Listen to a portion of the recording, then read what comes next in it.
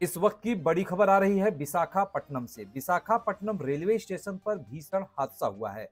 Tirumala express के चार डिब्बों में लगी है भीषण आग। जी हाँ बिल्कुल आपने सही सुना ये बड़ी खबर आ रही है विशाखापट्टनम से। आप सभी दर्शकों को बता दें कि आंध्र प्रदेश के विशाखापट्टनम रेलवे स्टेशन पर एक बड़ा रेल हादसा होते होते बच गया है। आप सभी दर्शकों को बता दें कि तिरुमाला एक्सप्रेस की चार बोगियों में आग लगी है और आग, भीषण आग लगी है। आप स्क्रीन पर देख पा रहे हैं कि किस तरह से आग पर काबू पाने का प्रयास किया जा रहा है।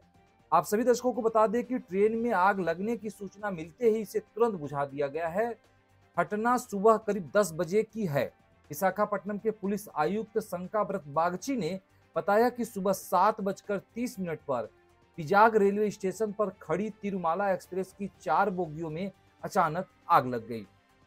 सौभाग्य से उस समय उन बोगियों में कोई यात्री नहीं था कि किसी की जान नहीं गई और कोई घायल नहीं हुआ। यदि उसमें यात्री रहते तो आज की स्थिति काफ़ी भयावह हो जाती, क्योंकि शायद उसमें से किसी को बचा पाना बड़ा मुश्किल होता। आप सभी दर्शकों को बता दें कि स्थानीय अग्निशमन सेवा अधिकारी ने तुरंत कार्रवाई की और ट्रेन में लगी आग को किसी भी तरह से बुझाया गया। अधिकारी ने कहा कि हम एफआईआर दर्ज करा रहे हैं। आग लगने के पीछे का कारण जानने के लिए फॉरेंसिक विशेषज्ञों को बुलाया गया है। उन्होंने कहा कि इसके शॉर्ट सर्किट या कोई और कारण भी हो सकता है, जो अभी स्पष्ट नहीं हो पाई है।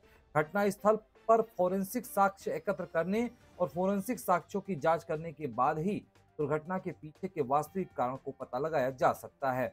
आगे आप सभी दर्शकों को बता दें कि बाल्टियर डिवीज़न के डीआरएस सौरभ प्रसाद ने बताया कि इन खाली डिब्बों को रख रखाव के लिए कोचिंग डिपो जाना था। इसके प्लेटफॉर्म पर रखा गया था। उस पर नौ बजे के करीब प्लेटफॉर्म पर गश्त कर रहे आरपीएफ कर्मचारियों ने थोड़ा धुआँ देखा।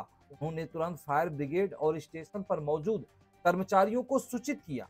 वे भी आग बुझाने के लिए अतिरिक्त बल के रूप में आए। इसके बाद सुबह 11 बजे आग बुझा दी गई। प्रोटोकॉल के अनुसार दो बगल के कोचों को छोड़कर बाकी रैक को तुरंत कोचिंग डिपो में दे जाया गया। आप देख सकते हैं, सभी दर्शक के समय हमारे स्क्रीन पर आप सभी दर्शकों को दिखाई दे रहा होगा। कि किस तरह से तमाम अधिकारी स्क्रीन पर हैं और किस तरह से बैरिकेटिंग कर दी गई है।